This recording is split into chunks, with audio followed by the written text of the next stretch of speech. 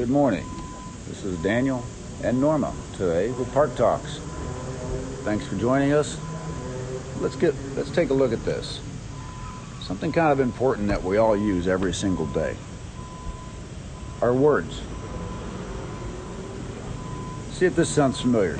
Sticks and stones can break my bones, but words can never hurt me. That's a lie. Would you agree? Sometimes. Yeah. Interesting. This lie that we've accepted since we're very small, very young, um, is countered if we were just open the Bible and look in the book of Proverbs. Proverbs 18:21 tells us that the tongue has the power of life and death, and those who love it will eat its fruit. Today in church we learned about honor quite heavily. We'll touch some of those parts a little later in this. Let's jump into this piece right here. This is I read this story this week that kind of really stuck to me, and I would have to say was the fuel to this. This story is often told. It is the most unusual penance. Saint Philip Neri assigned a woman for her sin of spreading gossip. In 16th century, the saint instructed her to take a feathered pillow to the top of the church bell tower, rip it open, and then let the wind blow all of its feathers away. This probably was not the kind of penance that this woman, or any of us, would have been used to. But the penance didn't end there. Philip Neri gave her a second chance, and it was more difficult, a more difficult task. He told her to come down from the bell tower and to collect all the feathers that had been scattered through the town by the wind. The poor lady, of course, could not do it. And that was the point Philip Neri was attempting to make in order to underscore the destructive nature of her gossip.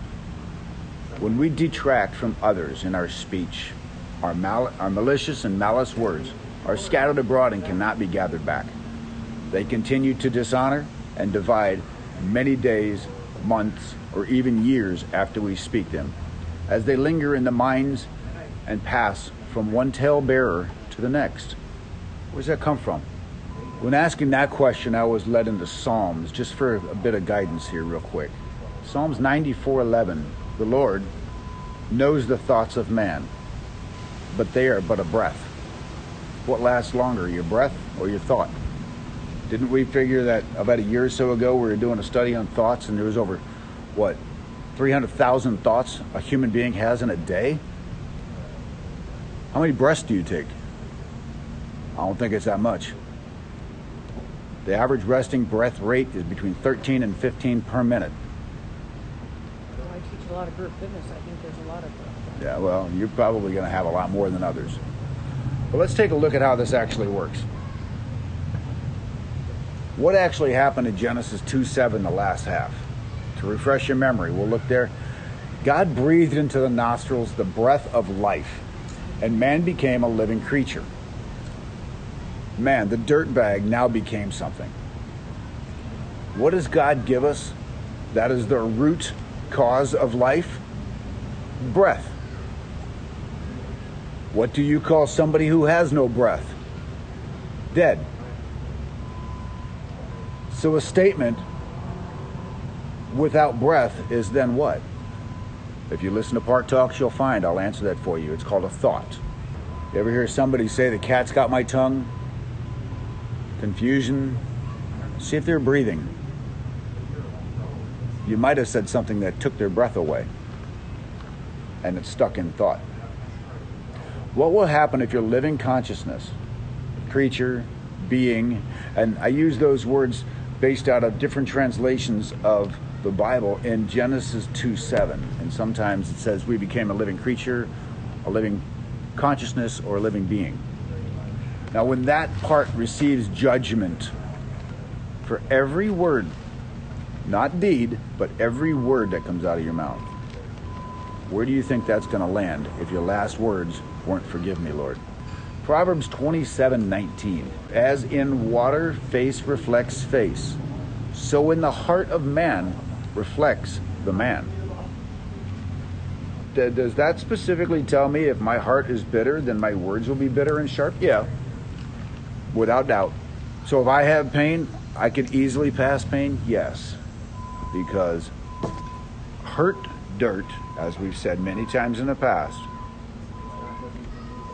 Hurt dirt hurts dirt. That's all it knows.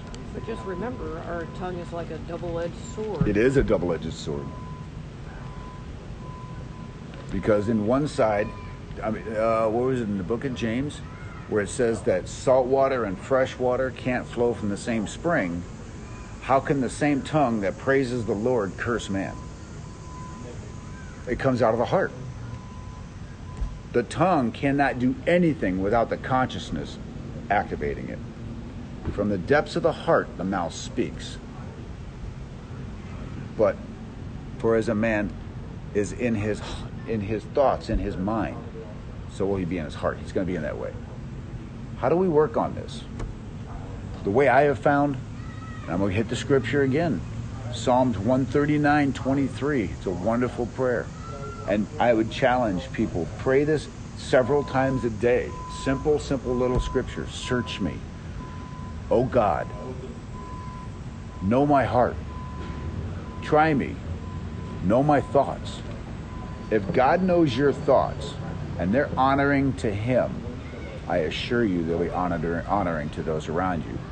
In truth, some people who are so lost in accepting fallacies as a reality, reality, they'll be offended. But that's okay.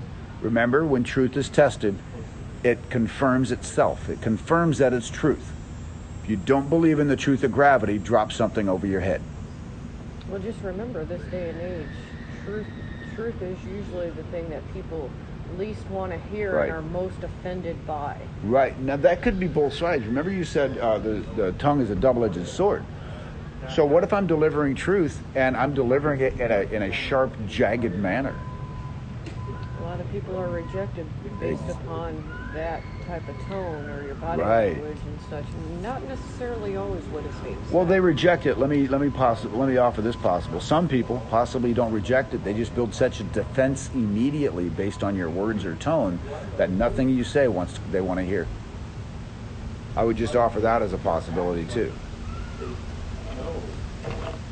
Um, we've ar- we've stated on the show many times on Park Talks how possibly people never rejected Christ or the message of salvation. They just reject the messenger because they're rude, arrogant, hypocritical. think they're better than somebody else. Yes. Oh, you just think you know more than me, right? Words are a product of our thoughts. The breath flows past the vocal cords, causing vibration. Then the tongue and the mouth form the words. So, where'd they come from? Our thoughts. Dropped into our heart. They grew with emotions, and from the heart, it came straight out. In Ephesians 4:29, the Apostle Paul tells us specific. I mean, this is specifically let, let no corrupting talk come out of your mouth, but only such as is good for building up, as fits the occasion. The occasion that it may give grace to those who hear. We often realize, or we often do not realize, the power of our words. Our words can be used to build up or tear down. We can have a positive impact on other people's lives when we use words for good. Consider how much we appreciate it when somebody takes time to express words of gratitude, honor, or praise, or how enriched we are when somebody takes a genuine interest in our lives. Conversation that focuses on what is good and honorable can edify other people's lives and help strengthen those in the community. We tear down others when we point out their weaknesses, criticize them, or complain about them. When we are not present, even when they're speaking and we're psychologically not present, we're lost in our own thought. We may, for example, start off speaking positively about someone, yet add a but in the middle of the sentence that precedes our mentioning a certain fault or annoying point we think this person possesses, such as, he's a great guy, but sometimes he talks too much. Another one would be, I love mom, but sometimes she can't she can get on my nerves. Such detraction is not necessary and diminishes the honor that is due to the other person. First a lot step. of people don't see it that way, though. Well, A lot of people just see it as aimless talk. empty words. Yeah. But if they're empty words and they have no meaning, why would they even need to be brought to life? If we are created, we have the power to create, give life and give death, why would we offer death in our words? People don't think they need to be silent. Well, that's true. And also, I would wonder if many people even understand this reality. That would be a curious thought to entertain.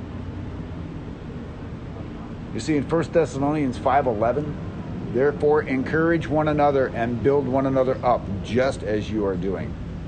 I think sometimes people get caught up in the moment of whatever else people are saying in a negative sort of tone. It's kind of like what we talked about last week. Mm-hmm. You get caught up with whatever is going on around you and you kind of join in and it's kind of hard to remove yourself from the situation.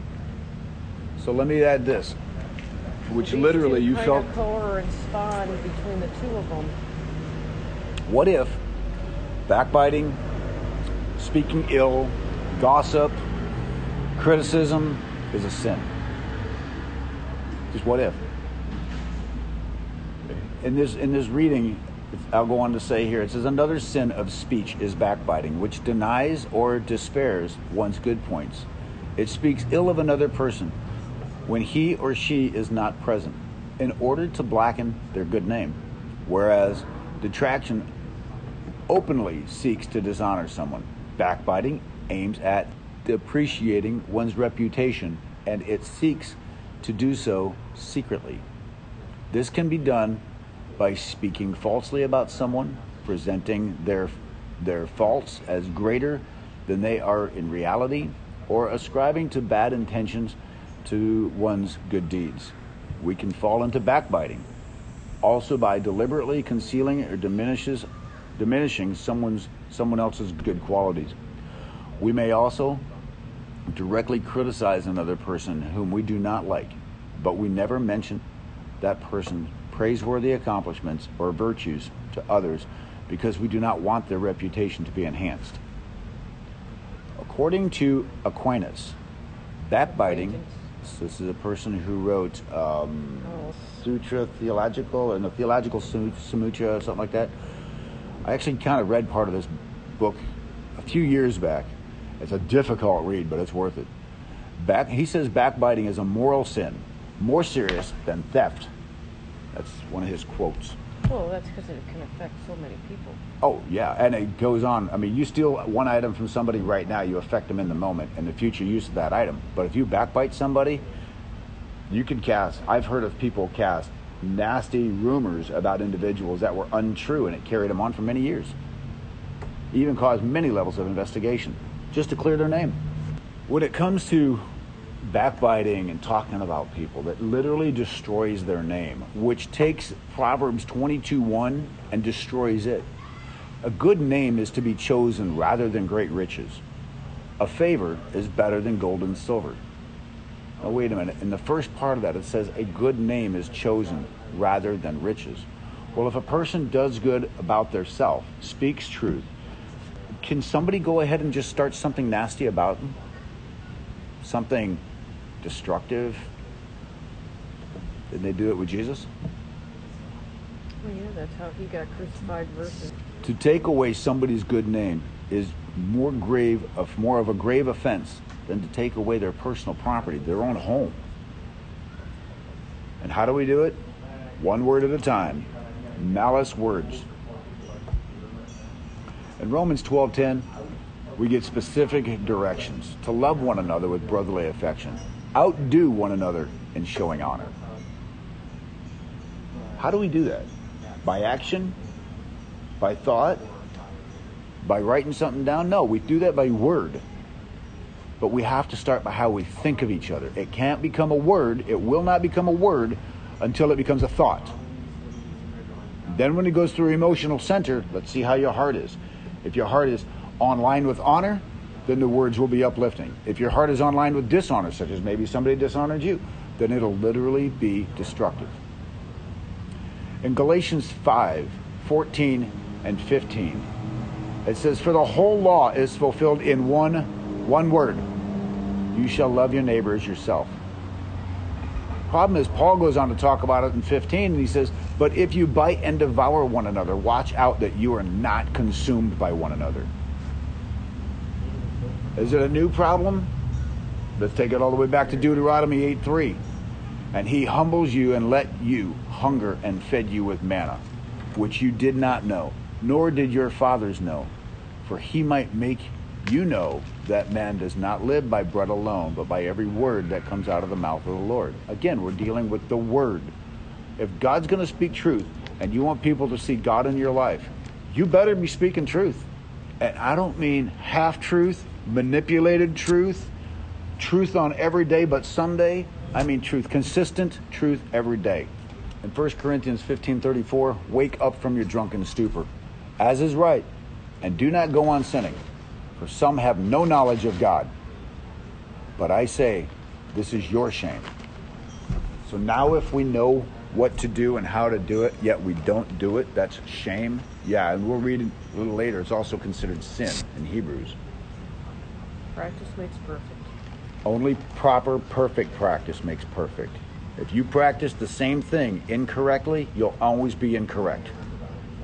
If I'm aiming at a target and I'm shooting over my left shoulder and the target's in front of me, I can practice it all day long. I'm just wasting ammo and looking stupid. practice It has to be proper practice. The vice of detraction consists of disclosing without good reason another's faults or failings to persons who did not need to know them. According to St. Thomas Aquinas, using injurious words with the intention of dishonoring somebody is sinful. Words that expose someone's fault to the detriment of his or her honor thus should generally be avoided. Just because a certain statement might be true doesn't mean I should say it. Doesn't the Apostle Paul tell us also that just because something is okay to be taken into the body doesn't mean it needs to be or it's good to be?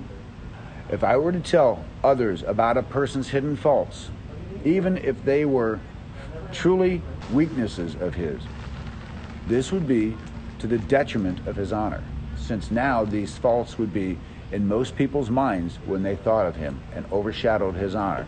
That is due him, instead of giving him the honor he deserves. Others might now dwell more on this person's particular faults and failings than who they are at the core. There may be some circumstances in which speaking of a person's faults is not done with the intent to dishonor him or her, but for some good purpose, for example, to correct a person or to protect the community. Yet, even in these cases, a person should delicately choose his words with great discretion and moderation. I do know somebody was told to me about an individual I bumped into occasion a few times, told me that he uh, this older male enjoyed younger children. Nothing to my knowledge except the words that were told me. Every time I see that man, that's exactly what goes through my head.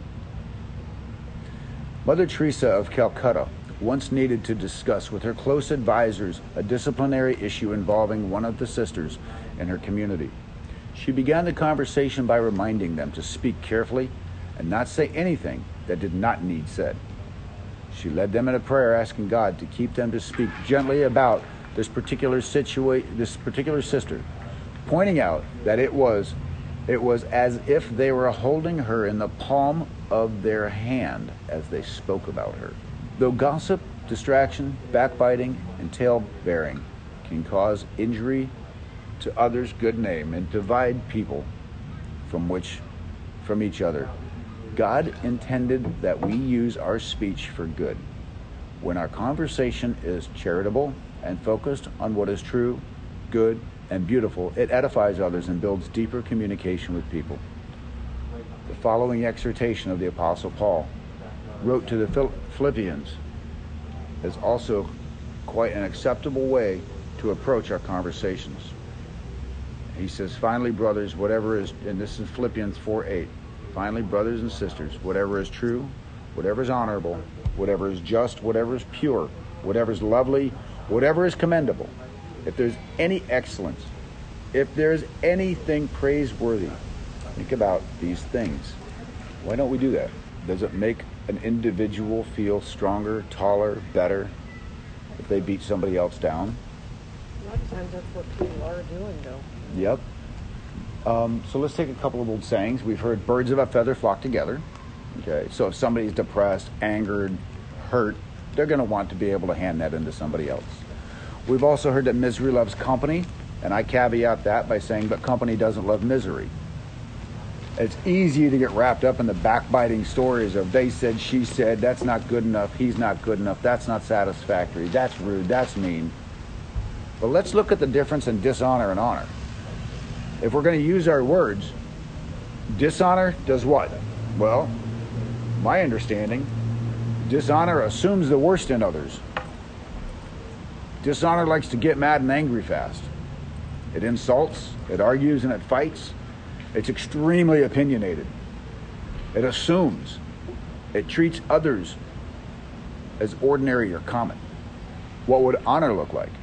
It communicates, it shares, it uplifts others, it will not fight or argue, it informs, it loves others. The pastor shared these this morning, and I couldn't help but grab them. Respect is earned, honor is given. Same thing in our in our words.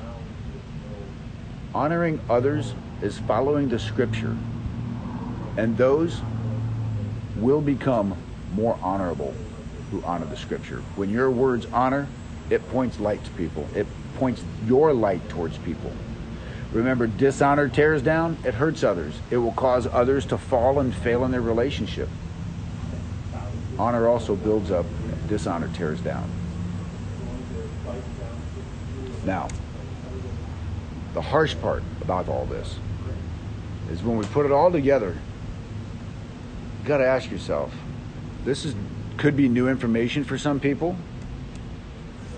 Could be something they've heard before, read before, but now that it's in your thoughts and you understand how words can tear people down and destroy those around you, those you want to bring honor to, even the ones that you don't agree with, you can disagree and still be honorable. We wrap Hebrews 10 26 and 27 around it, and it kind of locks it in a little tighter for me personally. For if we go on sinning deliberately after we receive the knowledge of the truth, there is no longer remains a sac- there no longer remains a sacrifice for sin, but a fearful expectation of judgment and a fury of fire that will consume the adversaries. We've all spoken out of turn. We probably all said something that we shouldn't have about somebody. Responded in heat, hostility, anger, frustration. Forgiveness actually heals you from the inside out. If you want to use words, speak words of healing, forgiveness, peace, love, joy, long suffering, meekness, kindness, goodness. Be gentle. Be self control. This is Daniel and Norma with Park Talks this week. Thank you for joining us, everybody. Be blessed.